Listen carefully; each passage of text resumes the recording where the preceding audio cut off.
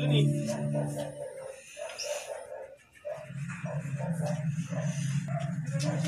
Tiri ka na? Para magamit niyo yung bike dyan isa.